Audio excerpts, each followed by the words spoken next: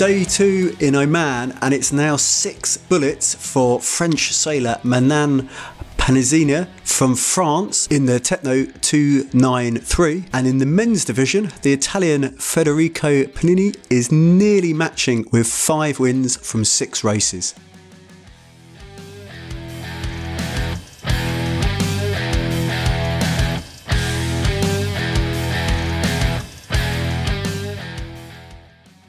In the kite surfing, Gal Zuckerman from Israel has gone one better, having won eight out of eight of the races, with her closest rival suffering two retireds. In the men's division, the racing is much closer, with Max Maeder and Riccardo Pianosi tied on nine points each. And talking of close, the NACRA class sees three points separating the top four overall.